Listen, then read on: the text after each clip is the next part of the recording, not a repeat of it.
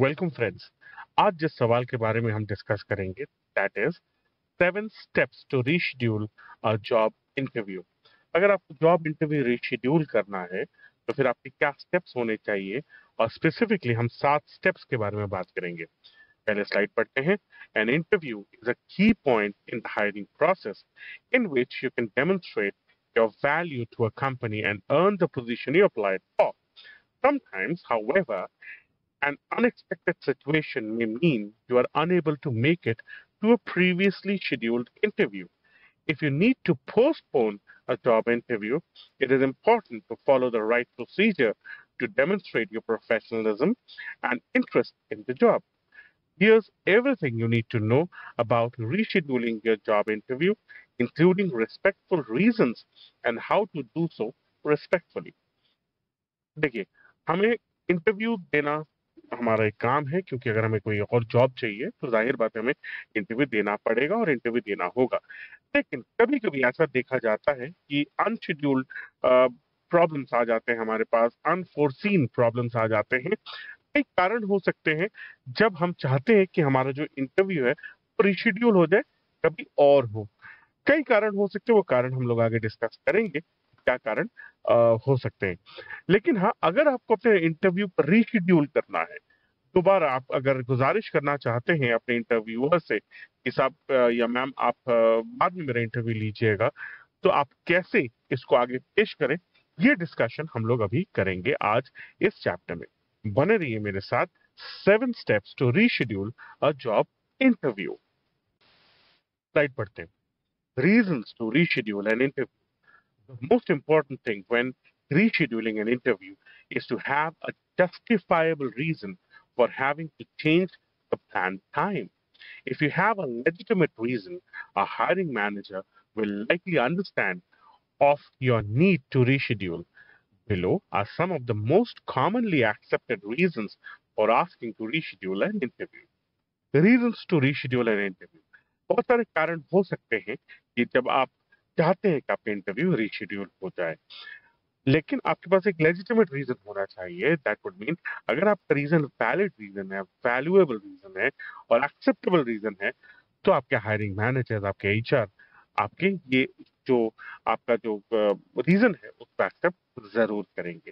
Below are some of the most commonly accepted reasons अब हम लोग बात करेंगे मोस्ट कॉमनली एक्सेप्टेड रीजंस क्या रीजन हो सकते हैं? उसके बारे में बात करेंगे और आप एच इंटरव्यूअर को कैसे वो रीजन पेश करेंगे उसके बारे में आज हम डिस्कस करेंगे बने रहिए मेरे साथ नेक्स्ट स्लाइड पे reason to reschedule an interview आज हम डिस्कस कर रहे हैं कि हम लोग कैसे अपने इंटरव्यू को रीशेड्यूल कर सकते हैं और क्या क्या कारण हो सकते हैं जिसकी वजह से हमें अपने इंटरव्यू को रीशेड्यूल करना पड़े बने रहिए You have gotten sick. There is a family emergency. you're experiencing car troubles. Discuss karte hain, pehle slide padhte hain. You have gotten sick. When you are sick, there's a chance you can spread your illness to others you come in contact with. Just as staying home when you are ill can benefit your co-workers by preventing the illness from spreading to them. Staying away from an interview in the same circumstance is similarly considerate and generally appreciated the hiring manager will likely be happy to work with you to find a new time and date when you are feeling better and are no longer contagious. अगर आप बीमार पड़ जाते हैं तो ऐसे भी chances हो सकते हैं कि आप ये बीमारी किसी और को भी फैलाए, अपने इंटरव्यूअर को भी फैला सकते हैं या फिर अपने कोवर्कर्स को फैला सकते हैं अगर आप जेनुअली बीमार पड़ जाते हैं, आप प्लीज़ अपने इंटरव्यूअर को बताइए कि आप बीमार हैं और ये बीमारी हो रही है आपको और आपके इंटरव्यूअर भी कंसंट्रेट होंगे, आपको बोल देंगे कि हाँ ठीक है, आप कुछ दिन आराम करिए, कुछ दिन रेस्ट करिए डॉक्टर से सलाह मशवरा करिए और जब थोड़ा बेहतर फील करेंगे, तब आप आइए इंटरव्यू देने के लिए। और कोशिश करिए टेंटेटिव टाइम ज़रूर दीजिएगा अपने एच आर इंटरव्यूअर को। तो याद रखिए, जब आप बीमार पड़ते हैं तो चांसेस ये भी हो सकता है कि आप दूसरों को भी बीमार कर सकते हैं। और कोई भी एच आर इंटरव्यूअर ऐसा नहीं चाहेगा कि उसके टीम में या फिर वो खुद आपकी वजह से बीमार हो जाए so if you have cotton sick आप प्लीज ऑनेस्टली बोल दीजिए अगले पे आते हैं हम लोग there is a family emergency dealing with an emergency scenario for a loved one is another universally accepted or universally human experience that most hiring managers will treat with compassion and understanding. Common family emergencies include caring for a sick child, attending to a family member who was injured, और mourning the passing of a loved one अगर कोई परिवार में अगर आपको कोई आपातकालीन स्थिति हो गई है, कोई इमरजेंसी हुई हुई है आपके इमरजेंसी याद रखिए इमरजेंसी इमरजेंसी होनी चाहिए इमरजेंसी साउंड करनी चाहिए। उदाहरण के तौर पे आपका कोई बच्चा है और वो अचानक से बीमार पड़ गया या बीमार पड़ गई, वो एक इमरजेंसी सिचुएशन है। आपके कोई परिवार वाले हैं जो हताहत हुए हैं इंजर्ड हुए हैं, ऐसा कभी ऊपर वाला ना करे, कभी कभी कोई एक्सीडेंट हुआ है उनको, ये ऑब्वियसली ये फोरसीन नहीं होता, ये फोरकास्टेड नहीं होता है। तो अगर कोई फैमिली मेंबर है जो इंजर्ड हुए हैं, या फिर कोई आपके बहुत करीबी रिश्तेदार, दोस्त, या कोई जानने वाले हैं जिनकी मौत हो गई, जो चल बसे।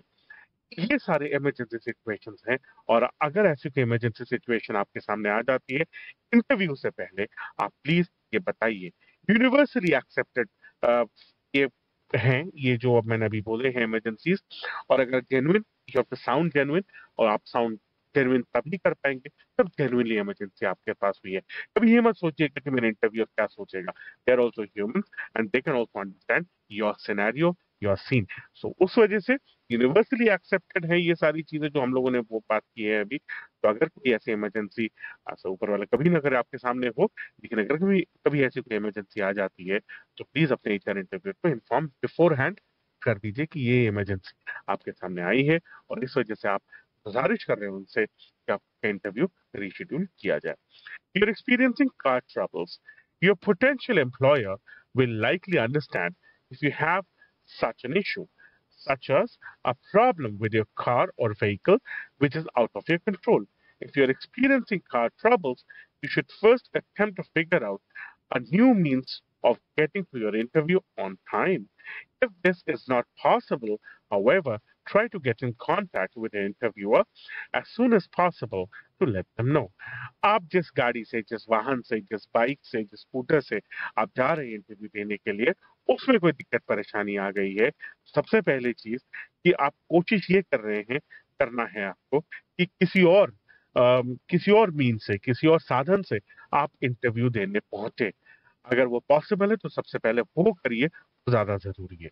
लेकिन अगर वो नहीं हो पा रहा है और कोई ऑल्टरनेटिव मीन्स आपके सामने नहीं है तो प्लीज़ अपने इंटरव्यूअर को कॉल करके इन्फॉर्म करिए कि आप जिस व्हीकल से आ रहे थे किस वाहन से आ रहे थे आप वाहन वो वाहन अब नहीं चल रहा है या फिर उसको कोई दिक्कत आ गई है कोई टेक्निकल प्रॉब्लम आ चुकी है उसमें इस वजह से आप नहीं आ पा रहे हैं और आप गुजारिश कर रहे हैं कि आपका ये इंटरव्यू रिशेड्यूल हुआ किया जाए।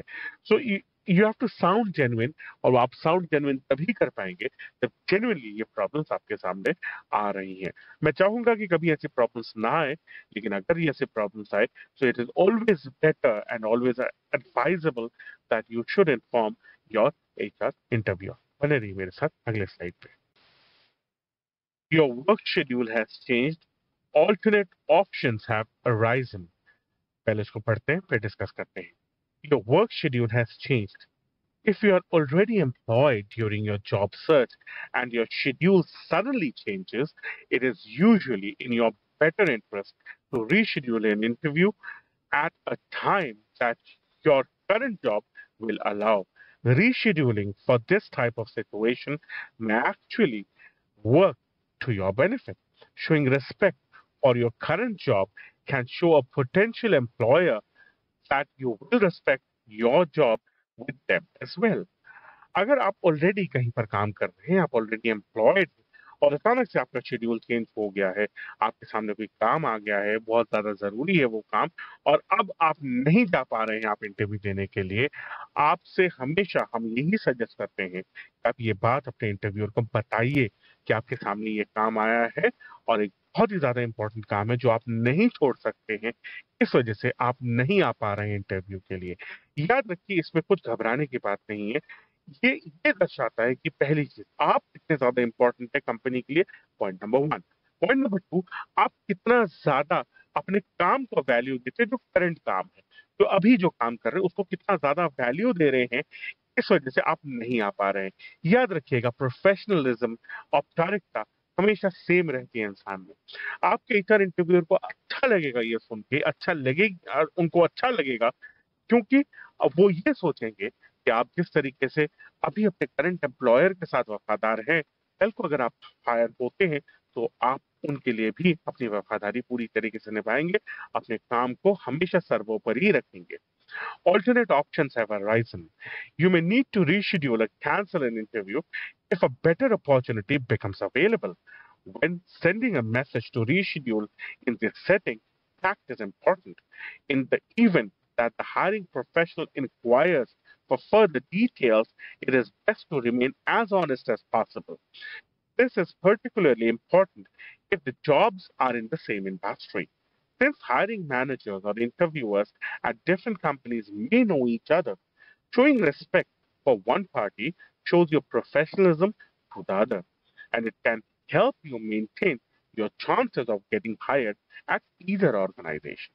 आप जिस कंपनी में इंटरव्यू देना चाहते थे अब आपके पास किसी और कंपनी से भी ऑफर आया है इंटरव्यू के लिए इस वजह से आप जो इंटरव्यू में जो मान लेते उसको ए इंटरव्यूअर है और आप अचानक से आपके पास बी इंटरव्यूअर का भी कॉल आ जाता है कि आप उस समय इंटरव्यू देने बी के पास जाइए। अब आप ए को आप ये इन्फॉर्म कर सकते हैं कि आप नहीं आ पा रहे हैं क्योंकि आपके पास एक और इंटरव्यू आया है आपके सामने।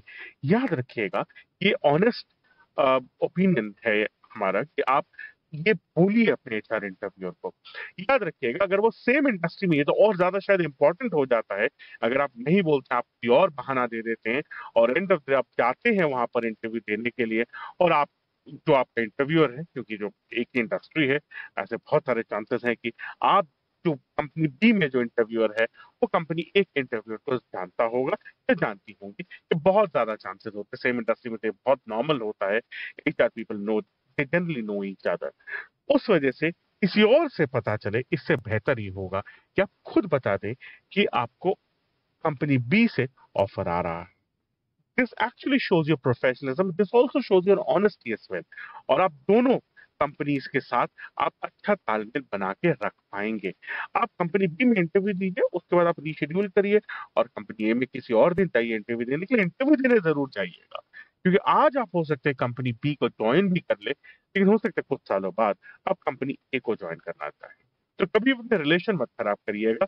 इस वजह से it is always always it is our our suggestion that you should always always be honest while rescheduling your interview बने रहिए मेरे साथ अगले स्लाइड में how to reschedule an interview Once you have determined that it is necessary to reschedule an interview, it is important to handle the change as professionally as possible to maintain a positive relationship with your potential employer. Follow these steps to reschedule an interview in a considerate and respectful manner. अगर आपके सामने ये situation आ ही गई है कि आपको reschedule करना है अपना इंटरव्यू उसको बहुत पोलाइटली पॉजिटिवली एंड प्रोफेशनली आप उसको रीशेड्यूल करेंगे पहली चीज रीशेड्यूल ना हो तो ज़्यादा बेहतर है। बट आपके सामने सिचुएशन ऐसी आ गई है आपको रीशेड्यूल करना है। वो सिचुएशन क्या क्या है, वो हम लोगों ने अभी थोड़ी देर पहले डिस्कस किया है। अब हम बात करेंगे रीशेड्यूल करना कैसे है, वो अभी हम डिस्कस करने वाले हैं। तो पहली चीज़, अगर आप रीशेड्यूल करना ही है तो याद रखिएगा be always be honest and positive relationship बनाए रखना आपके पोटेंशियल एम्प्लॉयर के साथ के लिए बहुत ज़्यादा ज़रूरी है। ऐसा कभी भी नहीं होना चाहिए कि आपका टाइम था इंटरव्यू के लिए और आप गए ही नहीं इंटरव्यू में और उसके बाद आप इन्फॉर्म कर रहे हैं। वो कभी भी एक्सेप्टेबल नहीं होता है। वो बिल्कुल गैर औपचारिक हो जाता है। It is completely not acceptable and it is completely non professional हमेशा याद रखिएगा आपको अपने पोटेंशियल क्योंकि जिसमें आप इंटरव्यू देने जा रहे हैं ज़ाहिर बात है वो आपके पोटेंशियल एम्प्लॉयर हैं। सो so, उनसे आपको अच्छे टर्म्स अच्छे ताल्लुकात अच्छे रिलेशनशिप बना के रखना बहुत ज़्यादा ज़रूरी है। अभी हम लोग डिस्कस करने वाले हैं how to reschedule an interview बने रहिए मेरे साथ अगले स्लाइड पे। Contact them early, express your enthusiasm, provide a reason quickly, suggest an alternative time. एक एक करके डिस्कस करते हैं Contact them early. The sooner you get in touch with the hiring manager, the less inconvenience you will cause them. Reach out to them as soon as you are certain that you would not be able to make it to the interview. जितनी जल्दी आप inform करें उतना ज्यादा बेहतर होता है हमेशा याद रखिएगा अगर आप नहीं जा रहे हैं इंटरव्यू के लिए एक इनकन्वीनियंस है। वो दिक्कत होती है आपको दिक्कत हो ना हो इंटरव्यूअर को ज़रूर दिक्कत होगी। इस वजह से अगर आप जल्दी इन्फॉर्म करेंगे, वो दिक्कत कम होगी उनको तो वो इनकन्वीनियंस जो होगी, वो लेस होगी उनको। याद रखिएगा, जितनी जल्दी हो सके अपने एच आर इंटरव्यूअर को इन्फॉर्म करिए कि आप नहीं जा पा रहे हैं और आप गुजारिश कर रहे हैं कि आप अपना रीशेड्यूल करें interview express your enthusiasm. You should make it clear to the hiring manager you're excited about the opportunity and would be making the interview interview if it was possible. It shows that you're not taking the decision to reschedule lightly.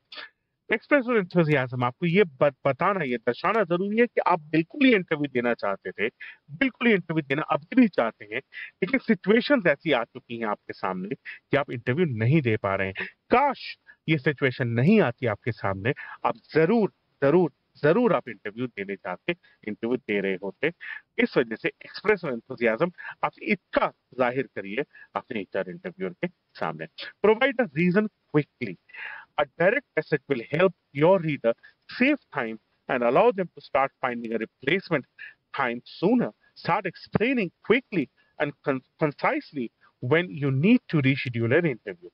Provide reason quickly जल्दी से reason बताइए so that और वो reason genuine होना चाहिए, जो कि हम लोगों ने कुछ स्लाइड्स पहले डिस्कस किया है।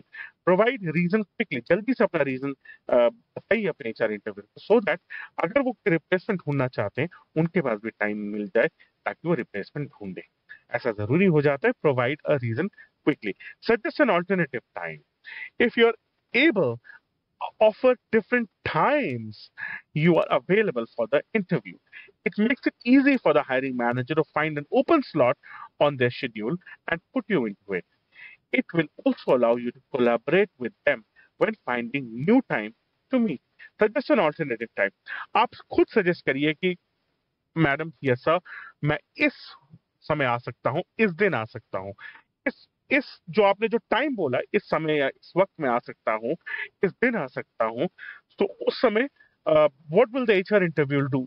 In, the HR interviewer will try to look up his diary और हर डायरी और उनका जो अपॉइंटमेंट शेड्यूल्स है और उसमें वो एक वो आप ये बोल सकते हैं है इस वक्त तो आप मेरे पास टाइम नहीं है बट उसके आधे एक घंटे बाद आप आ सकते हैं मेरे पास तो it will actually give you a strong position that आप जेनुअनली एंथुजियाज्म है आप में इंटरव्यू देने के लिए और आप ये भी इतने ज़्यादा सिंसियर है, इतने ज़्यादा प्रोफेशनल है कि आप खुद सजेस्ट कर रहे हैं कि अगर किसी और दिन हो सके, इस दिन हो सके, आप इंटरव्यू देने ज़रूर आएँगे। दिस शोज़ प्रोफेशनलिज्म और हमेशा याद रखिएगा we all want to hire professional people so that was suggest an alternative time बने रहिए मेरे साथ अगले स्लाइड पे। Apologize for the inconvenience. Thank them for the opportunity proofread carefully पहली बात apologize for the inconvenience show your consideration for your interviewer by apologizing for being unable to meet at the intended time courtesy is important when sending a rescheduling message आप please माफ़ी मांगिए कि आप जो भी time था उस वक्त आप नहीं आ पा रहे हैं सबसे पहले अपोलोजाइज करिए सबसे पहले माफ़ी मांगिए उनसे एक चीज़ याद रखिएगा ये बेसिक कर्टेसी बेसिक फॉर्मेलिटी बहुत ज़्यादा ज़रूरी है जब अप, आप अपना इंटरव्यू रिशेड्यूल कराना चाहते हैं। Courtesy is important when sending a rescheduling message जब भी आप मैसेज डाल रहे हैं चाहे आप लिखित में डाल रहे हैं चाहे आप मौके तौर से बात कर रहे हैं अपने एचआर इंटरव्यूअर से।